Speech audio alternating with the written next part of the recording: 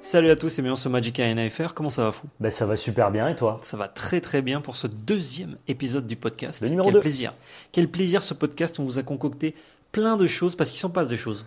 On a Il des trucs à vous raconter. choses. hein. On a des trucs. Alors je précise, ce podcast est enregistré quelques jours euh, avant de sa diffusion. Donc si jamais il y a eu des dingueries qui sont sorties entre temps, c'est normal qu'on n'en parle pas. C'est pas qu'on veut pas. Voilà, c'est fait exprès. On a investi dans un nouveau petit micro euh, du côté de Val. Donc n'hésitez pas à nous dire ce que vous en pensez. Si c'est mieux, si c'est pareil, euh, si c'est effet placebo. euh, comme il y a un nouveau matos, on pense que c'est mieux alors que non. Moi, je pense ne que c'est sais mieux. pas.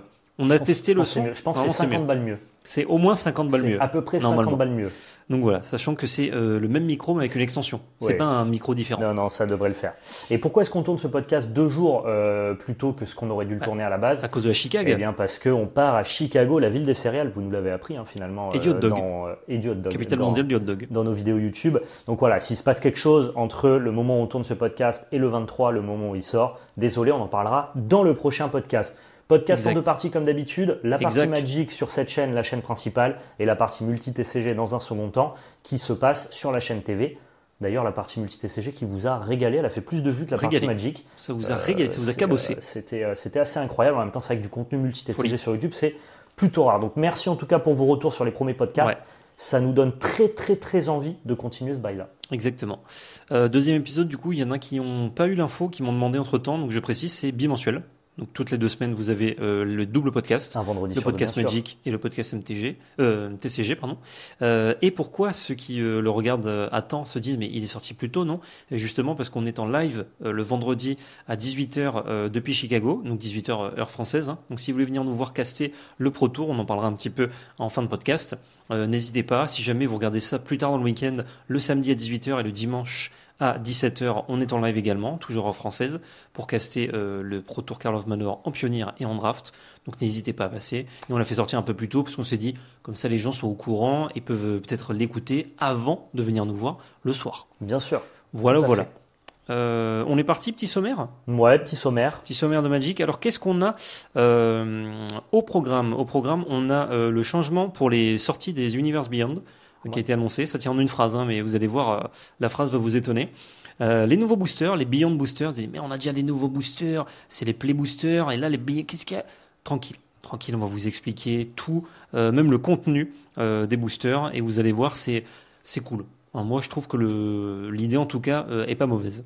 Petit tour sur les Secret Lair aussi. Alors, le drop dont on a parlé la dernière fois, il est toujours actif, mais il y a un nouveau Secret Lair qui a été annoncé. On en parlera justement, il est un peu spécial. Petit point de la part de Val sur l'inland moderne, ce qui est en train de se passer. C'est Euh, très marrant. un petit point sur le Viewer's Guide du coup pour Chicago, les horaires, etc. Bon, les horaires, on vient de vous les donner, mais on fera un récap. Euh, et une petite info sur le pionnier, je ne savais pas où la caler, du coup, euh, ce sera juste après le petit Viewer's Guide. Et ensuite, c'est mon petit jeu. Mon petit jeu, d'ailleurs, j'en ai deux, donc je ne sais pas lequel nous ferons aujourd'hui. L'autre, ce sera la fois d'après. Ok, du pas de souci. Bah, tu choisiras celui qui te plaît le plus. Celui. Tu sais quoi? Fais le plus drôle. Le Comme plus ça, drôle, le prochain podcast, il est pourri. parce que j'ai un éducatif et un drôle. T'as pas un drucatif? J'ai pas réussi.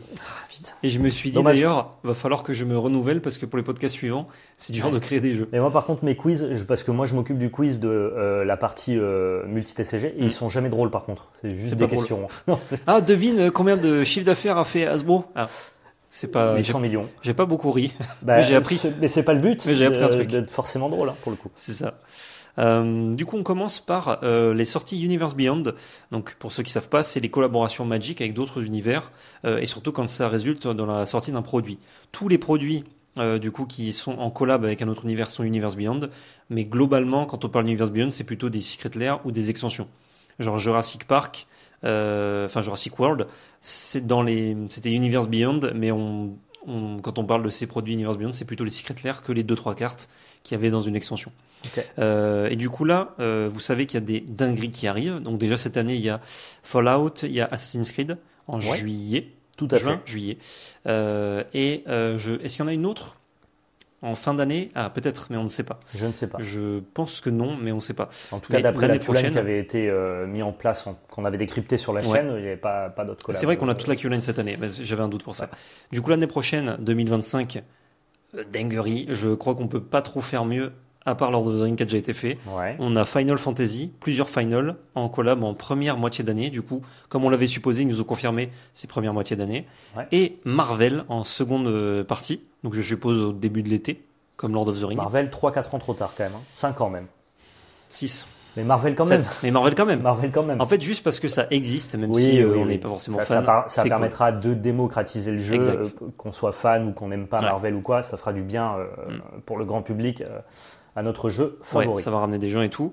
Et je précise, donc pour ceux qui se demandent Quoi, Marvel, j'étais pas au courant? On a fait une vidéo. Bien sûr. Regardez sur la chaîne, on en parle, on donne notre avis, on donne les deux trois infos qui traînent. N'hésitez pas, comme ça euh, vous êtes régalés. Du coup, deux sorties Universe Beyond gigantesques l'année prochaine et deux cette année. Mais il faut savoir que le modèle de sortie de Magic, du coup, pour ces Universe Beyond va se changer à partir de 2025 et bah, du coup calquera 2025, c'est-à-dire qu'il y aura deux sets Universe Beyond par an.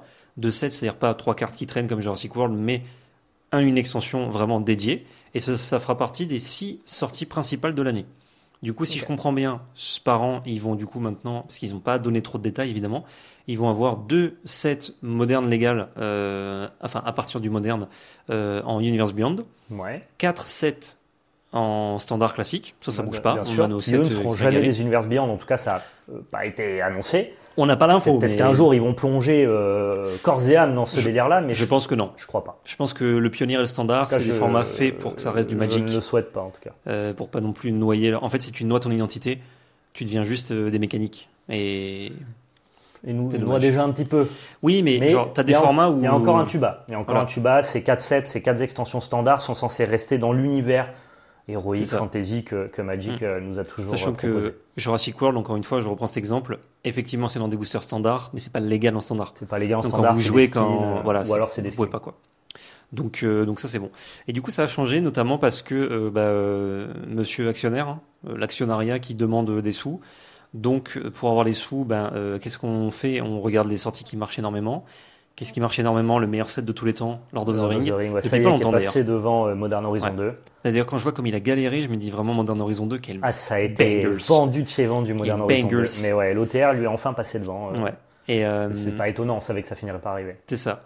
Euh, donc bah, ça va bien marcher forcément. Et ils, ils ont parlé, alors ils n'ont pas donné de licence évidemment, mais de grosses licences du même calibre. Donc je vois pas trop, à part des trucs qui ont déjà des TCG. Oh, Pokémon Bah, par exemple, hein. Non, mais non, c'est pas possible. pas possible, mais tu vois Pokémon, euh, Dragon Ball, One Piece, euh, Naruto, genre des, des immenses licences. C'est des licences qui sont déjà, comme tu dis, licenciées sur du TCG. Après, Ouais. Final Fantasy avait son TCG. euh, Ouais, c'est, je sais pas. ils sais pas où ils vont. collab Star Wars en plus. Il y avait, il y avait aussi Mm. une porte ouverte, mais maintenant il y a, il y a un TCG aussi qui va sortir. Difficile d'imaginer de plus grosses licences que celles qu'il y a déjà actuellement. T'as un petit, t'as des licences euh, qui peuvent beaucoup marcher, notamment par la nostalgie. Tu vois, je pense que s'il y avait une, une extension Matrix, je souhaite que ça n'arrive pas, mais Ouais. Oh, bah, après, enfin, en fait, nous, on est attaché à l'univers de base qu'a posé Ouais. Magic. Mais quitte à avoir des collabs, Ouais, ouais, ouais, mais- d'avoir Matrix que euh, Hello Kitty, par exemple. bien sûr, bien sûr. Hop là, ça c'est pour Metazu. Prends ça. C'est même pas pour C'est Metazoom. c'est pas le même, mais, c'est pas le c'est- même mais- jeu. mais pourquoi pas Mais euh, ouais, je, je sais pas trop euh, quelle licence ils vont faire. En tout cas, ça prend des années à travailler cette licence-là. Je vous donc, colle Alien, hein, je te le dis. C'est bah, des grosses licences qui fourvalent, donc ça marchera pas. Quoi. Oh, le tir Ça marchera pas. C'est énorme, Alien. Non, en fait, je pense que des, des Secret Lair pour Alien ou des petits décommandeurs, ça marcherait grave. Oui, mais pas sur un Toute set, une pas sur un extension, set complet, non, je suis d'accord. Genre déjà, euh, les scénaristes ils galèrent à aller Non, faire les non, films, mais donc- tu vois, si tu vas dans le délire d'Assassin's Creed, franchement, il y a Mm. des licences comme The Witcher qui seraient giga vendeuses. Ah tu oui, vois. Quand mais tu fais un truc collab Fallout, tu fais un truc The Witcher, et Ouais. là, pour le coup, personne râlera. Parce qu'on a une DA qui est Ah très proche de l'univers Magic. Il y en aura deux trois au fond, mais on les étouffe. Non, non. Alors, euh, ils sont étouffés par la foule. Ah, mais on n'entend pas les Donc, cris de euh, joie. euh, couvre. Non, non, il y a des trucs qui fit très naturellement, genre The Witcher. Je sais pas, Ouais. imagine Dune, ça prend énormément d'ampleur avec Ah, Dune 2 régale. actuellement. Et Ouais. avec la, la- la trilogie, la suite des films qui est censée être tournée, peut-être une collab Dune, ça peut être incroyable. Ça, c'est des univers qui, globalement, euh, une fois qu'on a ça, accepté que Magic s'ouvre aux autres, ça pourrait fonctionner. Quoi. Euh, le le fit le plus attendu, je pense, hormis les licences qui arrivent, euh, ce serait avec euh, les Dark Souls, donc les From Software. Par exemple, Et exactement. ça, genre, tout colle fit, parfaitement, fit euh, parfait, quoi. Et genre ça, ce serait une extension de l'été, genre folle. Ouais. Je serais très très content moi que ça sorte. Et je pense que vous serez beaucoup dans les commentaires. Ah oui. Mais tu vois, finalement, ils sont vachement forts parce que nous, de prime abord, on n'est pas forcément pour les collabs. Mais Non. maintenant qu'on sait qu'elles sont là, Maintenant qu'on n'a plus le choix. on se prête au jeu des attentes. Bah ouais, Puisqu'on est obligé, bon, c'est ça. petite collab Dragon Ball. Non, je rigole. Mais pourquoi, Pourquoi pas, pourquoi pas. Comme ça, ça donnera raison à tous les mecs qui disaient Oh, j'ai attaqué avec mon Sangoku, tu bloques avec ton Transformers Bah ouais, bah ouais, t'as attaqué avec ton Sangoku, je bloque Ouais, avec je mon ça. Transformers. Mais mon Et jeu, moi, il je a- suis trop content. Mais mon jeu, il a un super gameplay, les gars. Eh N'oubliez ouais. pas. Il est fou. En vrai, ça, ça n'arrivera que dans des formats comme euh, modernes, Comme- potentiellement, et encore. On a vu avec Lord of the Ring que c'est timide. hein. Ouais. Les, les cartes pour arriver en moderne. euh, Oui. Alors oui, alors qu'il chez l'anneau, mais au final, c'est des cartes qui sont pas choquantes. Quand Non, non, les mais- jouer. Parce que c'est pas un set. euh, quand tu vas commencer à avoir euh, Cloud et Tidus en moderne, ça va être un peu plus compliqué, je pense, pour, plus, euh, ouais. pour la cohérence Ouais, de mais ton jeu. tu vois, on se disait pareil, genre de Gandalf, de Frodon, et au final, est-ce qu'il y a un Gandalf, est-ce qu'il y a un ah, Frodon franchement, euh, Gandalf Frodon en moderne, moi, ça m'a jamais choqué. C'est un univers fantasy, quoi. Ah, Les mecs qui ont le discours de j'attaque avec Vegeta, c'est genre, oh, je bloque avec mon Gandalf, ça marche aussi, tu vois. Ouais, mais moi, ça me choque Et- moins, à titre personnel. Ouais, la DA Parce est comme tu me dis, un From Software, euh, Ouais. ça, me choque vachement moins, quoi. Genre, ça pourrait être une extension de Magic euh, Ouais, sur ouais. un lore euh, un peu sombre, tu vois, un truc un peu inistradien, tu vois. C'est clair. Mais du coup, voilà, euh, la news c'était ça, c'est qu'à partir de 2025 ils font ça. Donc 2025 on savait déjà. On va manger double univers euh, Beyond par an. C'est ça, sur des produits euh, en plus. Donc si vous jouez standard pionnier, ça ne vous concerne pas. Ce sera pour toujours pour des sets modernes ou euh, Commander. C'est ça. Euh, donc je pense que c'est pas impossible que sur les deux sorties, il y ait un set moderne légal et un set commander. À chaque fois, je pense. Je- à mon avis, il faut qu'ils fassent ça. Tu vois, Marvel, Sinon, ce sera trop. Commander légal et Ouais. Final Fantasy moderne légal. Ouais, c'est ça. Et ça marche très bien Final Fantasy. Il y a beaucoup de, de jeux de la série qui marchent dans l'univers Magic. Bah, moi, je te disais que ça allait me faire bizarre, je pense, un personnage Cloud euh, qui Bah, euh, ouais. se tape avec des gobelins, tu vois. Du FF7, c'est bizarre. Ouais. Du FF, Peut-être qu'il y a d'autres euh, FF que je 5, connais si pas, je dis pas de euh, conneries. qui fonctionnera mieux. ouais. Tu vois, genre il y a des petits mages et tout, euh, Oui, peut-être. ça, ça passe quoi. Et Genre FF15, ça va être bizarre aussi, quoi. Ouais, en fait, plus c'est euh, futur digital, euh, Exactement. c'est bizarre. C'est ça. Après, euh, il peut y avoir des skins futur digital et les cartes basiques, tu vois. C'est dur de se projeter, on verra ce qu'ils en font. hein. De toute façon, Ouais. c'est aussi au travail, à, à- à tout la, toute la direction artistique de- d'essayer d'insérer et d'implémenter au mieux Mm. Ouais. euh, cet univers dans l'œuvre de Magic. Tu vois, pour C'est aller au clair. TR, ça c'est plutôt bien goupillé. donc, euh, C'était très bien fait, ouais. Donc euh, ça, c'est la news. Qu'est-ce qu'on en pense? Bah, Je comprends le, le vœu de, de grossir de la part de, de Wizard. Je trouve que deux extensions par an, je sais pas si c'était nécessaire. Je trouve qu'une grosse par an, c'était trop bien. Ça aurait régalé plein de gens, sauf ceux qui sont pas fans d'une licence, mais bon, c'est pas légal partout. Après deux par an, euh, je comprends la grid, mais euh, jusqu'où on va comme ça, c'est ça qui me fait un peu peur. Même Magic. si je leur fais confiance pour faire ça bien. Non, mais moi je pense qu'ils feront ça bien Mm. évidemment. Mais Magic se perd un peu et perd un peu son public. Mais en fait, ils font tellement d'acquisitions, ils font tellement de nouvelles entrées. J'ai fait une vidéo qui euh, euh, s'appelle Magic a changé et qui explique un petit peu tout ça. Ouais. Que qu'importe tous les gens qui laissent sur le carreau avec ces décisions-là, ils ont tellement plus de nouveaux entrants que juste en termes de ce que ça rapporte en termes de business, c'est worse pour eux en fait. Il n'y a aucun problème à laisser les anciens fans de Magic sur le carreau parce que de toute façon, une collab avec Final Fantasy, avec Marvel, ça leur ramène tellement de nouveaux joueurs qui eux après vont rester mordus parce que, Mhm. on le rappelle, Magic ça reste des, des mécaniques, hein, ça reste un puzzle mathématique et pour moi c'est les meilleures Les mécaniques règles ne changent jamais. Les règles ne changent pas et ça pour le coup ils continuent à les faire de très bonne facture, c'est toujours de très bonne qualité. Donc finalement les nouveaux entrants, eux, ils sont mordus après par les règles et ils restent. Donc qu'importe à quel point nous on essaierait de freiner la locomotive, ils s'en fichent parce qu'il y a toujours plus de gens qui consomment Magic. Et donc maintenant qu'on a ce postulat-là et que, euh, entre guillemets, on a... euh, euh, ça y est, on a deal avec ça, quoi. Ça y est, Mm. moi j'ai fait mon deuil, tu vois. Oui, maintenant c'est comme ça. Voilà, c'est comme Ouais, ça. Quand tu vois l'annonce là qu'on voilà, tu parles, je, je peux rien y faire. Bah, du moment que le gameplay, du moment que les sensations de jeu que j'ai sont toujours bonnes, ok, allez, faites-le comme ça. Mais Mm. c'est sûr qu'ils perdent plein de gens. Mais ils s'en foutent. Ils en Ouais. perdent moins qu'ils en gagnent. c'est ça. Euh, après, c'est vrai que ça fait. Enfin, pour ceux qui restent, tu vois, comme nous, euh, du coup, euh, ça fait plus de gens avec qui jouer, ça agrandit la communauté, euh, c'est plutôt t'as- positif Tu as au une final, partie du prisme qui est positive. au, au global. En tout cas, les retombées en tant que membre de la communauté, je trouve plus positif que négatif. Après, on verra. ça, ça passe aussi par des, des produits acceptables. Je je sais pas, parce que ça découle aussi quand même d'une décision plus d'actionnariat que vraiment de décision de Wizard of the Coast. Donc je sais pas si c'est plus positif que négatif. Moi, je suis pas forcément sûr avec ça. Mais en tout cas, euh, on, on en trouve du positif quand on veut, euh, quand on veut aller le chercher, qu'on essaye de prendre du recul, quand on regarde un petit peu ce qui se fait à droite à gauche Ouais. dans le monde du TCG. Tu sais que maintenant Magic est sur la carte. Quand tu demandes à quelqu'un dans la rue est-ce qu'il connaît Magic, maintenant il connaît Magic. Ça devient de plus en plus populaire et mainstream. Où c'est un jeu de niche qu'on a aimé pendant 20 ans. Le fait que ce petit plaisir de niche qu'on avait euh, souvent incompris par les gens, bah, maintenant devienne quelque chose connu de tous, bah, c'est aussi une victoire pour nous. Mm. Mais à la base, il faut savoir que de la part de Wizard of the Coast, ça part pas du tout d'une ambition de développer leur jeu. Non, ça part d'une une ambition. entreprise qui veut gagner de l'argent. Voilà, mais ça part d'une ambition, pas d'une entreprise de gagner de l'argent, de euh, donner énormément d'argent à leurs actionnaires. C'est un peu différent d'une Mm. entreprise qui veut se valoriser et gagner de l'argent, Ouais. tu vois. Alors pour défendre un peu euh, l'actionnariat, euh, en vrai c'est surtout le- la maison mère, donc Hasbro, qui possède Wizard, Bien sûr. qui euh, est en chute libre, euh, qui perd euh, beaucoup d'argent tous les ans, malgré que Wizard et Donjons et Dragons en gagnent de plus en plus. Mm. Et du coup, en fait, ça, fait vivre Hasbro grâce à ça. Mais du coup, ce qui a les retombées, c'est des décisions comme ça et des licenciements de masse. Ça, ça touche tous les secteurs. hein. Il n'y a pas que le jeu de cartes, évidemment. Le jeu vidéo, c'est une catastrophe vidéo, c'est actuellement. C'est tous les secteurs qui, Ouais. après le, le- le Covid, commencent un petit peu à, à passer à Mm. table. Là. Mais ouais, du coup, l'actionnariat, en fait, c'est en fait, c'est l'actionnariat Hasbro. Si jamais c'était pas détenu par Hasbro, Ah non, mais bien Wizard, sûr. les décisions seraient différentes. Bien sûr. Et- ce que je veux dire, c'est qu'en gros, c'est pas, euh, c'est pas pour faire plaisir à la communauté. Non. Euh, à la base, ça part d'une décision qui est juste marketing et sûr. actionnariale, qui fait que nous, bah, derrière, on va chercher les points positifs que ça apporte. Quoi. Mais au final, euh, il y a beaucoup de trucs, je me serais dit euh, non, tu vois, genre tu me proposes en mode est-ce que tu veux que Magic devienne ça, fasse ça? Il y a plein de trucs, j'aurais dit non il y a quelques années. Et maintenant, je suis content en fait qu'ils aient fait ces changements parce qu'on a accès à des trucs, ça ramène d'autres personnes, ça ouvre le jeu comme tu dis et tout.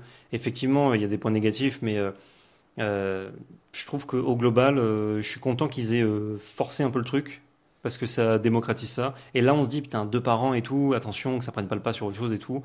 Et que je leur fais confiance, ça va être certainement très bien fait. Ah, bah, Et dans ce cas-là, euh, on sera, on sera content aussi. Quoi. de toute façon, tu t'habitues à tout. hein. Euh, pas le choix. hein. qu'importe, Si euh, je pas, je joue juste plus au jeu et du coup, euh, je suis Ouais, privé d'un jeu que j'aime. Mais Bah ouais, mais en fait, le jeu, il est tellement bon Mm. que même si la collab, elle te plaît pas, moi, il y a plein de collabs euh, que Ouais. j'ai pas aimé ou dont j'en ai rien à faire. Genre Doctor Who, j'en ai rien à foutre. Mais Mm. si les cartes Doctor Who, elles sont bonnes, je les joue. Donc Ouais, ouais. finalement, en fait, moi, je suis prisonnier, quoi. Ils m'ont cap- capturé de, de- ils m'ont capturé sur, ils m'ont capturé à l'enfance, moi, il y a déjà 20 ans. Et le jeu est tellement bon qu'ils peuvent collab avec qui ils veulent. Mais si tu me laisses le choix, je, je mets pas deux collabs par an. moi, j'ai décoré ma cellule du coup. Ouais, et ouais. du coup, maintenant, je suis bien. non, mais voilà. Oh, je suis bien en prison. ils sont, ils sont tellement forts, leur jeu est tellement bon qu'ils se permettent de faire ça et ils savent que dans tous les cas, ils ont plein de nouveaux entrants. Mais si tu me donnes, demandes mon avis, non, je fais pas de 7 par an. Bah, ça dépend comment ça va être géré parce qu'encore une fois, on n'a pas tous les détails, mais ouais. euh, faut voir. euh, si c'est un commandeur en moderne, je trouve que c'est bien fait parce que le commandeur, typiquement Doctor Who, euh, ou même le Fallout, bah, les retombées, euh, les fans adorent, euh, les autres passent leur chemin. Et, et du coup, en fait, c'est un set qui compte que pour ceux qui aiment ça. Ouais, mais en, En fait, moderne, faut non, juste ça, qu'ils va, gèrent bien. ça, ça va compter euh, ceux pour qui le compétitif a de la valeur. Oui, mais parce du coup, que le faut que moderne, le- c'est un format qui est joué en Pro Tour. Il faut que le moderne soit bien géré.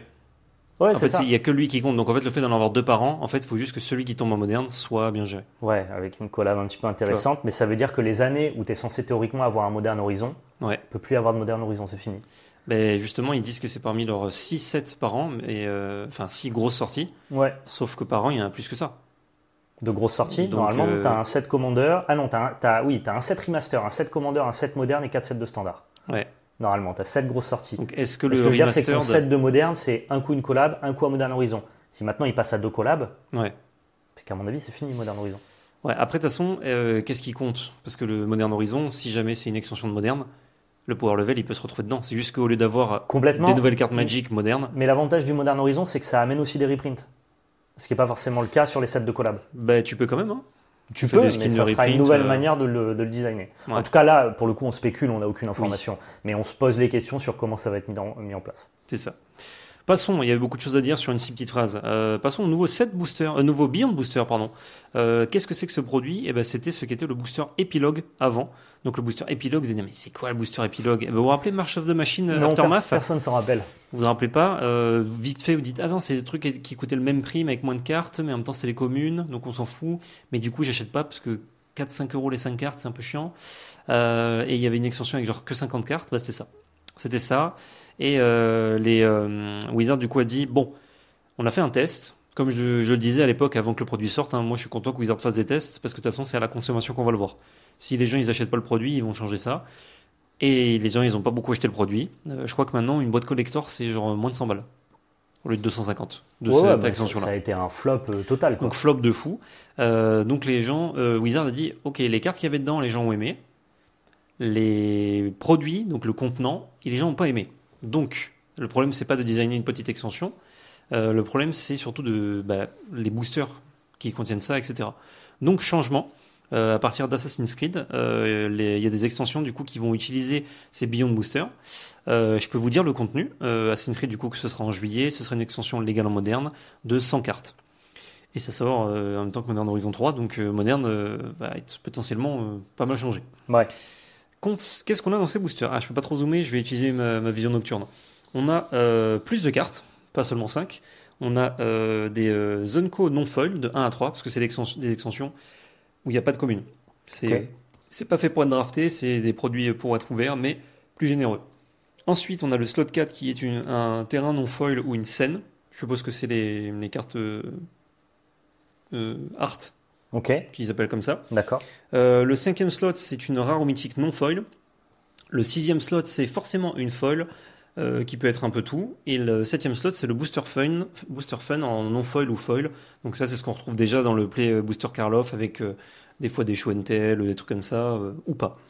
Et, et ensuite, on a un token. Donc il y a un peu plus de cartes. Il y a forcément une foil, ce qui est mieux. Et c'est pour des sets justement où il n'y a pas assez de cartes pour faire une extension draftable mais trop de cartes quand même pour. Enfin, il faut vendre ces cartes-là sous une certaine forme. Ouais, Du coup, ils ont trouvé ça. Il n'y a pas de com précise, mais ils ont entendu euh, le fait que les gens n'étaient pas contents au niveau du prix. Donc ça sous-entend un prix plus bas, parce qu'il y a moins de cartes, ou alors un prix identique, mais il y a plus de cartes dans ce booster, donc euh, mieux. Euh, à la base, du coup, comme je disais, les cartes étaient bien, mais euh, le produit n'était pas bon, notamment à cause des doublons d'Unco.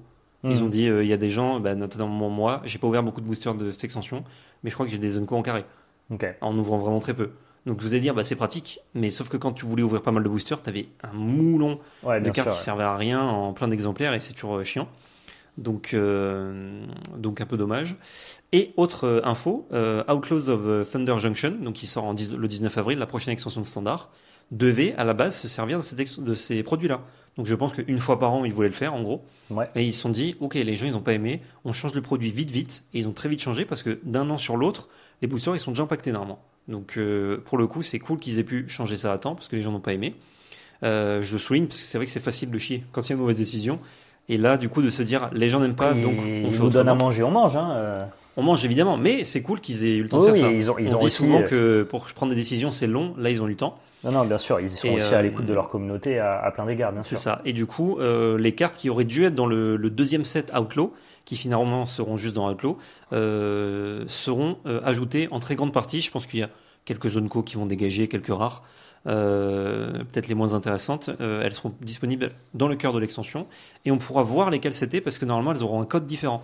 Je pense qu'elles étaient déjà imprimées mais pas euh, emboosterées. D'accord. Et du coup- pourras savoir quelle carte était réservée à ce type de booster oui. qu'ils ont décidé de skip Ouais. pour le mettre dans le set. C'est ça. marrant ça. Donc comment on pourra avoir un- une petite idée du design, comment ça se passe, c'est cool. En tout cas, c'est l'info que j'ai trouvé dans l'article. hein. Si c'est pas le cas après, moi je ne fais que répéter ce que j'ai lu euh, dans l'article. Euh, Qu'est-ce qu'on en pense de ce Beyond Booster? C'est vraiment pour être ouvert pour la collection euh, et pour des produits spécifiques. J'ai tr- très peu d'avis là-dessus. Je trouve ça euh, un peu euh, bizarre que ça sorte aussi rapproché de Modern Horizon 3. T'as Ouais. as 100 nouvelles cartes euh, légales. Mais euh, du coup, c'est pas le booster, c'est le- l'extension au problème.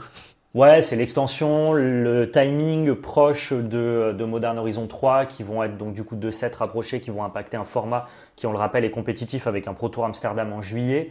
Donc ça va faire quand même un espèce d'én- d'énorme boom, un petit peu comme, comme l'an passé avec LOTR. Par contre, le booster, bon, bah, s'il s'agit d'ouvrir euh, ton booster Assassin's Creed euh, de cette manière-là, moi, j'ai aucun problème avec ça. Quoi. Si ça permet, parce que du coup, ils l'ont.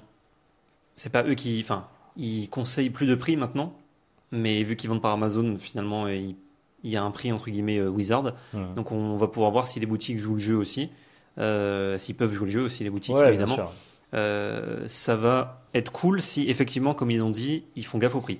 Parce que si moi je paye un peu moins cher mon booster qui a un peu moins de cartes, mais que des cartes que je vais rechercher ou de collection, surtout que là il y a deux fois plus de cartes que dans la petite extension euh, Aftermath.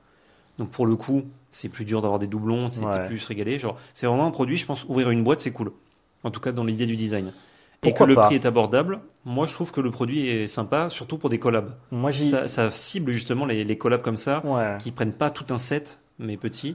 Mais vu les. Je finis juste là-dessus. Hmm. Vu ce qu'ils ont annoncé pour l'année prochaine avec Final Fantasy et Marvel, ils ont pas dit que ça allait utiliser ça. Donc je suppose qu'en fait, ce produit-là, il va exister vraiment très rarement. Là, ils s'en servent pour Assassin's Creed parce que c'est pas que des packs commandeurs, il y a aussi des cartes, mais bon, euh, voilà. Il n'y a peut-être même pas de décommandaire, d'ailleurs, je ne sais pas. Ça m'étonnerait, mais on ne sait pas. Euh, donc en fait, je ne sais pas trop quoi penser d'un produit qui va peut-être être une fois par an ou jamais, plus jamais après. Je trouve que c'est une meilleure, une meilleure manière de faire un univers Beyond, par exemple, que Doctor Who ou Fallout, qui n'avaient que Ouais. des boosters collector euh, Issu du commandeur. euh, issus du commandeur en proposition. C'est-à-dire que si jamais tu es fan de Fallout, et ben, le seul moyen d'acheter des cartes Fallout, hormis les decks commandeurs, c'est de payer, euh, ça va être à peu près 30 balles ton booster euh, Fallout. Bah, là, euh, si finalement pour. Alors moi, je ne crois pas que les boosters sont moins chers, c'est mon avis. Je pense que tu Ils payes- l'ont dit dans le, dans le truc. hein. Ils ont dit nous avons écouté au niveau du prix du booster qui ne vous plaisait pas. Oui, mais du coup, ils ont rajouté des cartes, mais je suis sûr qu'ils te vendront pas moins cher le booster. Mais du coup, Mais c'est. ils le vendent techniquement moins cher si tu as plus de cartes. Ah, Pour le même prix qu'avant. En fait, le problème, c'est toujours le même débat, c'est que pour eux, en coût de production, ça leur coûte rien. Eux, Oui. ils impriment seulement du carton, tu vois. Bien sûr. Donc, ce que je veux dire, c'est que les gens, qu'importe ce que nous, on pourra euh, débattre là-dessus Mm. sur euh, la valeur intrinsèque du prix du marché à l'intérieur du booster, Ouais, ouais. Si finalement il y a un peu moins de cartes et qu'ils vendent quand même 6 euros, bah, les gens, ils auront quelque chose à redire. À tort, à raison, c'est pas le débat. Moi, je Mm. pense qu'ils baisseront pas le prix, mais qu'ils ont écouté et qu'ils ont remis un peu de cartes. Par contre, c'est sûr que si tu veux de l'univers Beyond, et bah, avoir un Beyond Booster, c'est mieux que d'avoir du collector. Bah, c'est ça. Si tu Euh, cherches du collector, tu as toujours le choix. Et du coup, tu as un choix à un moindre coût. Ouais, ouais. Après, le marché secondaire, c'est des trucs qui marchent très bien généralement. T'achètes sur Card Market ou autre, ou dans Mm. ta boutique, bref, euh, pour les soutenir notamment. Euh, bah, t'as, Sur- sur la belle carte. Sur la carte. ouais. On vend pas une carte féminité pour l'instant, mais imaginez. Imaginez. Euh, c'est vrai que c'est euh, une solution pour euh, toutes les bourses, on va dire, qui est cool. ouais, moi, je trouve juste pour trouve ça- juste mieux que du booster collector obligatoire. Juste pour ça, c'est bien. Ok. Passons au Secret Lair. Qu'est-ce qui se passe dans l'espace dans les Secret Lair Il y a un nouveau Secret Lair qui va sortir très bientôt, euh, le Sheldon Spellbook. Et qu'est-ce que c'est que le Sheldon Spellbook?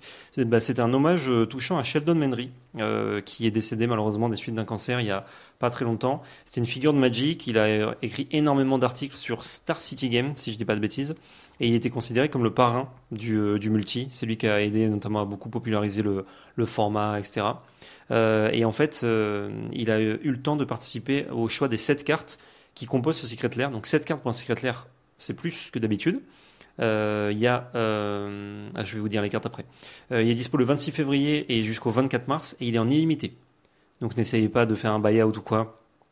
Vous n'y arriverez pas euh, parce qu'ils vont être imprimés en, en infini. Ce n'est pas Donc, possible. euh, voilà. Donc si vous ne pouvez pas le prendre le 26 février, vous pouvez l'acheter le 23 mars, il y en aura toujours.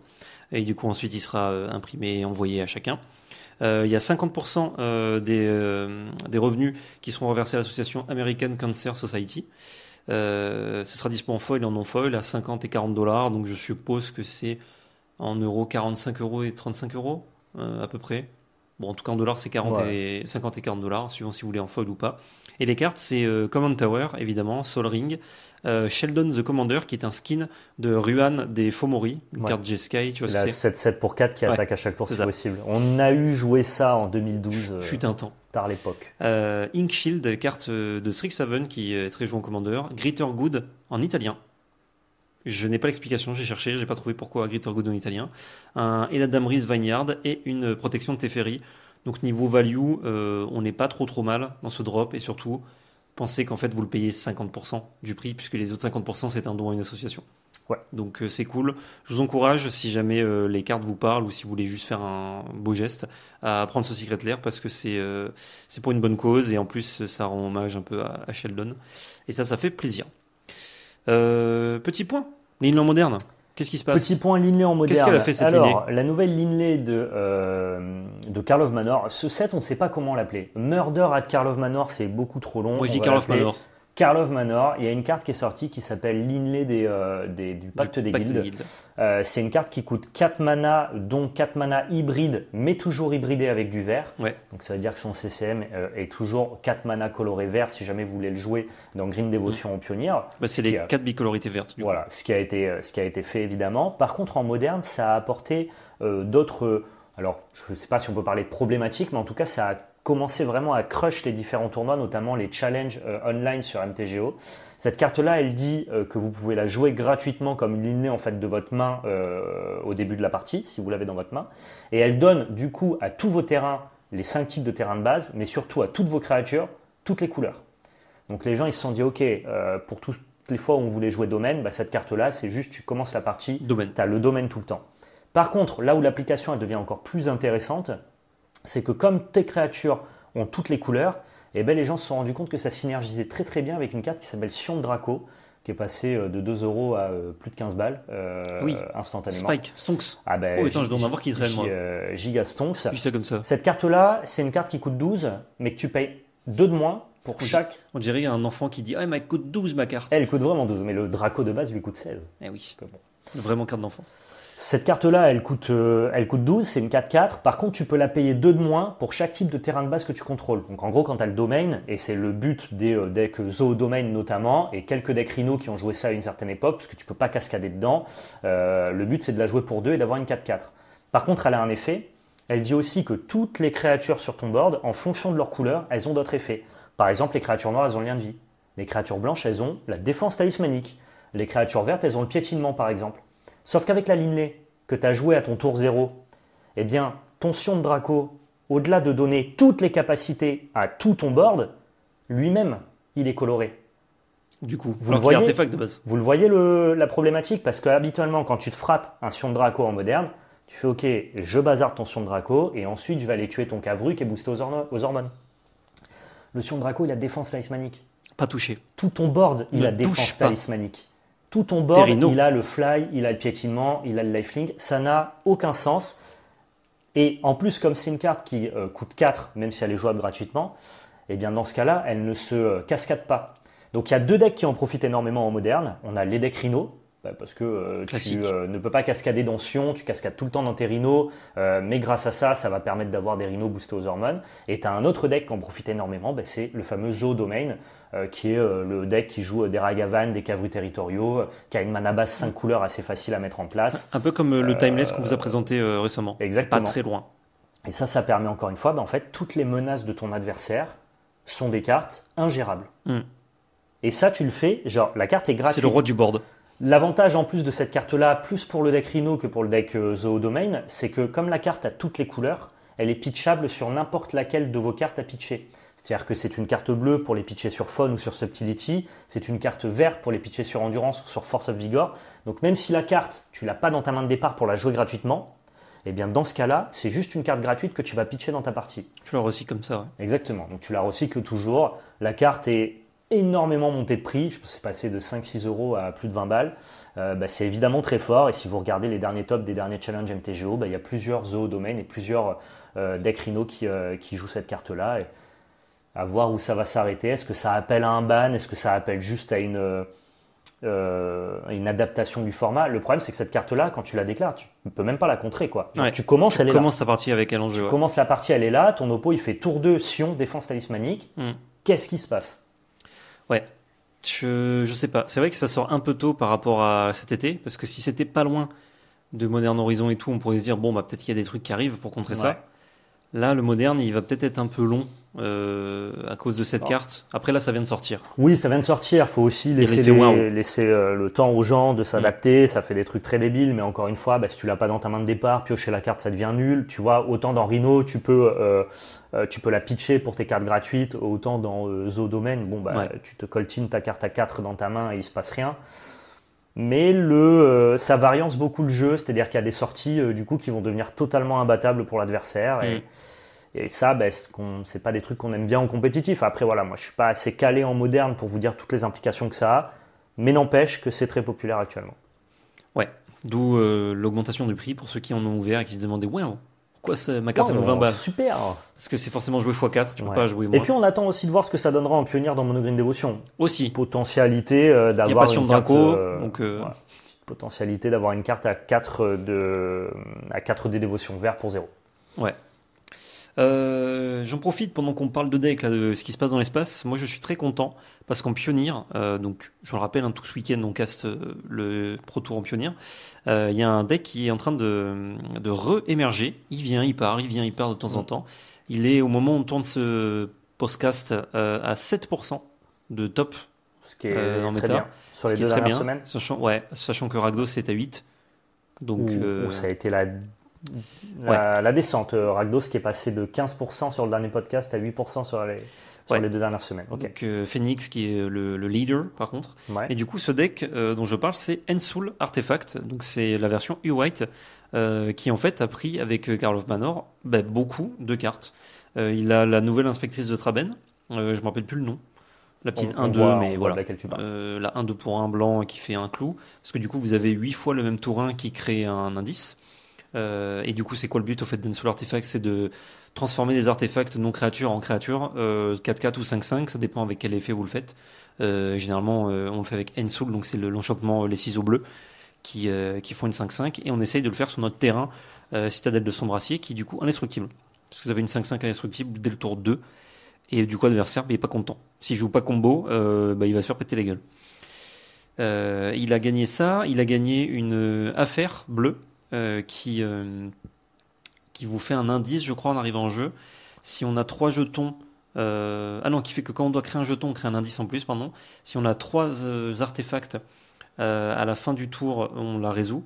Et une fois qu'elle est résolue, on peut payer 3 pour la sacrifier pour euh, transformer un artefact en 4-4. Donc ça marche Ouais, grave bien C'est pas molasse ça dans la synergie. C'est joué dans le deck. Ok. euh, parce qu'en fait, tu le résous tout le temps dès le tour où tu le joues. Ouais, bien sûr. ouais. Et du coup, tour suivant, ça te fait un Ensoul, un effet Ensoul de plus. Mais du coup, tu dois payer 3 plus le coût de ton affaire. Euh, ouais, mais tu le fais sur deux tours. Tu peux pas le faire dans le même tour. Ok, ça, ça m'étonne vraiment que ça soit joué, Mm. mais... je crois que la- l'affaire coûte un bleu. D'accord. j'ai regardé Ah le ouais, ça deck, fait quand même euh, 4 pour un effet Ensoul en fait. Ouais, ouais. Ce. C'est un deck vrai. euh, très rapide Ensoul à la base, donc ça me paraît euh, très cher payé. Et j'imagine qu'il joue le nouveau que- contre aussi. Euh, Pas nécessairement. Nouveau contre No More Lies Ouais. Je sais plus. euh, je crois que main deck, non. Je crois que c'est en side. J'ai regardé plusieurs decklists, j'avoue, j'ai pas tout en tête. Mais c'est cool. Il y a le petit drop 1 aussi de Dixalan.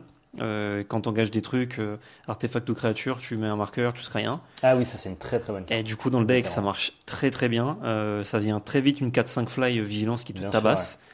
Euh, et est-ce qu'il y a une autre carte? Je me rappelle plus. Je me rappelle plus s'il y a une autre carte, désolé. Euh, comme Mais, je euh, vous dis, J'espère qu'on en verra euh, à Chicago. Mais ouais, je souligne parce que c'est rare que les decks euh, apparaissent entre guillemets. Là, c'est vrai qu'il y a tellement de nouvelles cartes depuis Xalan dans le deck, c'est presque un nouveau deck. Et, et moi, c'est une mécanique avec laquelle j'ai commencé le pionnier, donc je suis très content. C'est pas du tout le même deck, mais je suis très content que ça rosse et que justement ça monte dans le méta. Donc j'espère en voir ce week-end. Ok, Justement ce week-end, oh les transitions, j'ai travaillé en radio, ça se voit. parfait. Point euh, viewers guide pour Chicago. Euh, Qu'est-ce qui se passe du coup à Chicago Premier PT de 2024, c'est pas rien. C'est pas rien du tout. Ah non, c'est pas rien du tout. Euh, On c'est rappelle, il y a trois Pro Tours par an et un championnat du monde. C'est le premier de l'année ici. Ça sera en pionnier. Ensuite, on aura un Pro Tour en standard. Le Pro Tour en moderne en juillet. Et enfin, les Worlds à Las Vegas, comme d'habitude. C'est ça. En septembre ou octobre. Ouais. Je n'ai pas la date là. On n'a pas encore les formats des Pro Tours, mais logiquement, c'est ça. Alors, moi, je vous le dis, à Amsterdam, c'est sûr que c'est moderne parce qu'il y aura les extensions modernes, notamment Modern Horizon Ouais. 3 avant. Et donc, par Euh, déduction, non, Amsterdam, c'est en juin. euh, juin, Euh, pardon, oui. Du Voilà. coup, euh, Assassin's Creed ne sera pas sorti.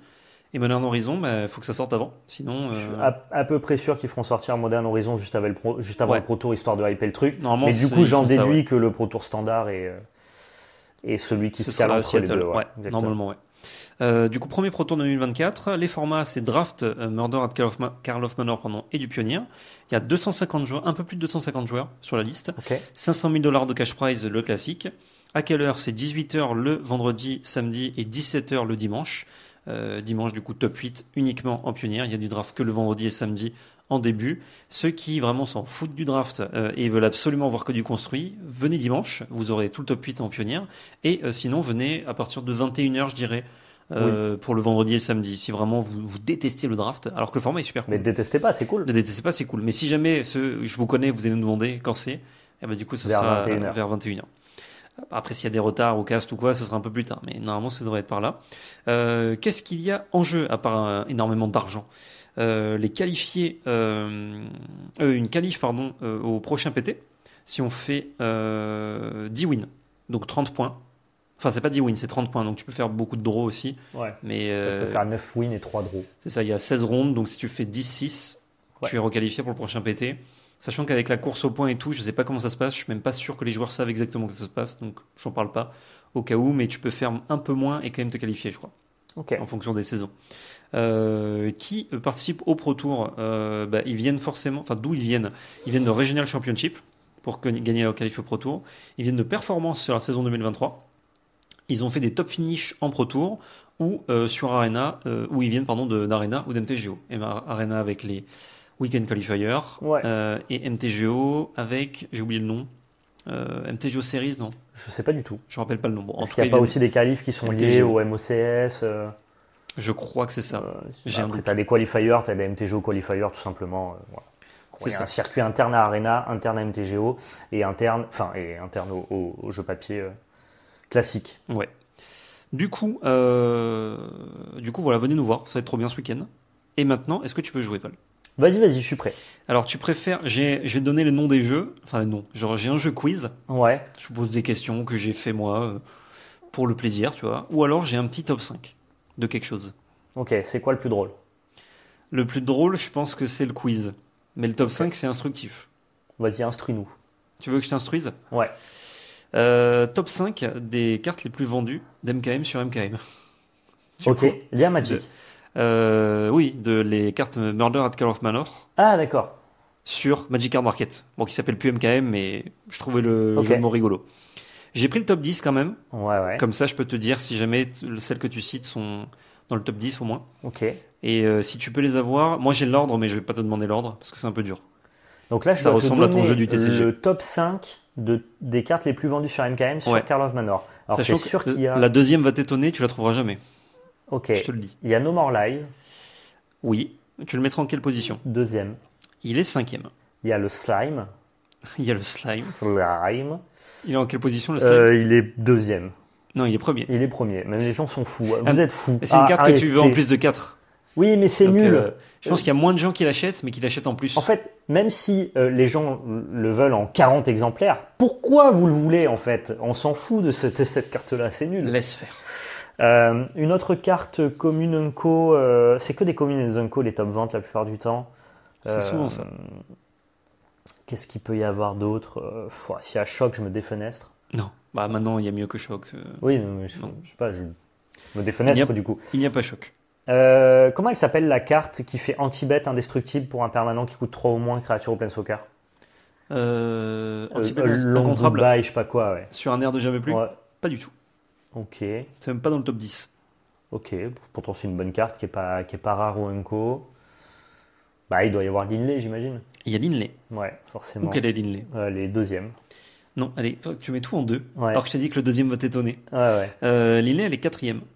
Ok. Alors, les stats, si jamais vous vérifiez que c'est pas bon ce que je dis, c'est que euh, au moment où j'ai pris, Ça a bougé juste. c'est que ça a bougé. Voilà. Donc premier, on a Bout contre l'humanité. Deuxième, qui va vous étonner. Ouais. Euh, troisième, t'as pas trouvé. Quatrième, Linley. Cinquième, Fini les Cinquième, mensonges. No More Lies.